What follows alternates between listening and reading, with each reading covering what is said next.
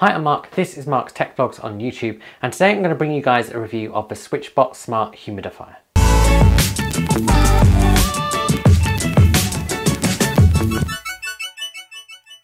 Now, if you're not aware, a humidifier is designed to add moisture into your room. And this is typically done through the use of a mist. And there's several reasons you might use one. It might help your room feel fresher, it might help cool you down in hot weather, and it can also help with things like dry skin. And the SwitchBot humidifier is a humidifier that does just that, but with some extra smart controls allowing you to control it using things like your voice and your phone, and also to set schedules. Now SwitchBot very kindly sent me one of these to review and I've been using it for just over a month, so here are my thoughts on it. And I want to start off by talking about price. Now I'm going to be honest, prior to this video I had no idea how much a humidifier cost in general. And the SwitchBot humidifier costs around £70. Now compared to other humidifiers, particularly of its size, this makes it pretty affordable, especially given the smart features that it comes with.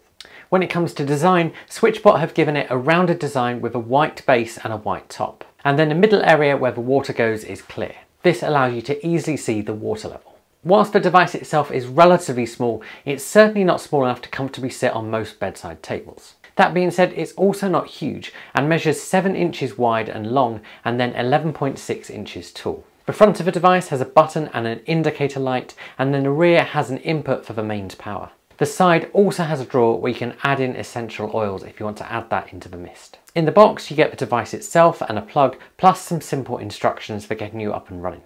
The device itself has a 3.5 litre tank and it can cover 20 to 40 metres squared. It has an auto shut-off mode built in for when the water levels get low as well. And then finally, it has a max runtime of 48 hours. When it comes to using it, your phone is the thing that allows you to set the efficiency. And you can adjust this between 1 and 100%.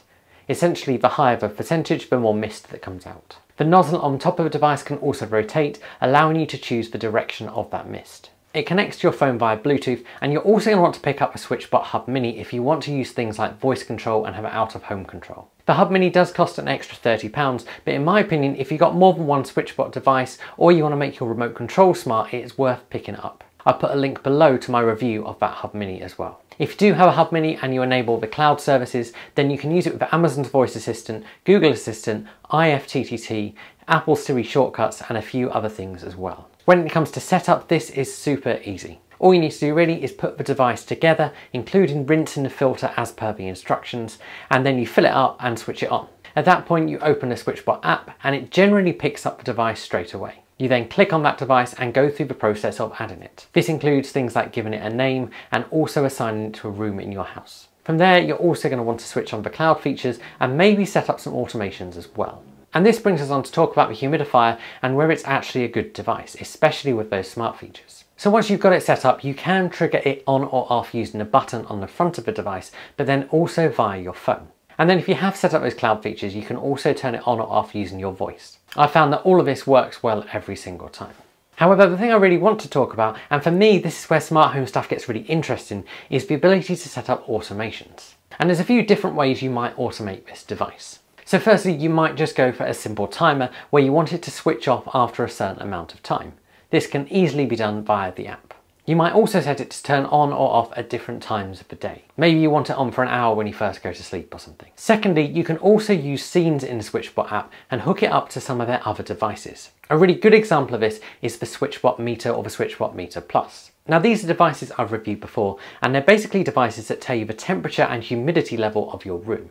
If you use these and automations with the SwitchBot humidifier, you might do something like set it up so that it comes on when the humidity level in your room is at a certain level and maybe turns off when it's at a certain level as well. This is a way of controlling the humidity in your room. And of course the great thing about having a meter is you can see that the humidifier is actually making your room more humid. And with all of these automations, you can also set the power of a mist, so whether you want to have a lot or a little. Also worth saying at this point in the video that in the app, you can also turn off the light on the front of the device. This is really useful if you want to use this device in your room and you don't want to be disturbed by that light at night. And so finally for this review, before I give you guys my verdict, let's talk about how this device feels to use. So the mist that comes from it certainly makes your room feel more refreshing. And this is something that's really useful during hot weather, and I really wish SwitchBot had sent this to me at the start of August when we had the crazy heat wave over here. And a great thing about this is that it does make you feel more comfortable. The device is also pretty quiet. This means you could easily have it on at night without it disturbing you. So all in all, is the SwitchBot Smart Humidifier any good? So the SwitchBot Smart Humidifier, as you've gathered throughout this video, is a smart take on a device that's been around for many, many years. And actually, particularly with the automations and when you can use it with other devices like the Meter Plus, I'd say this is where a device being smart is a really good idea. It allows you to turn it on or off with your phone and set timers and delays and things like that, and also control the intensity of the mist. In addition to that, being able to monitor the humidity with some of the other accessories means it really is a smart device. If you guys have got any questions, do stick them below and I will answer those because this is a device I'm still using. If you've enjoyed this video, please give it a like and consider subscribing to my channel to be first to see about new videos when I release them. And then finally, if you do want to pick one up, I have put a link below to both SwitchBot website and Amazon. Now both of those are affiliate links, which means I will get a small portion of what you spend if you do buy through that, and that just helps me keep this channel going.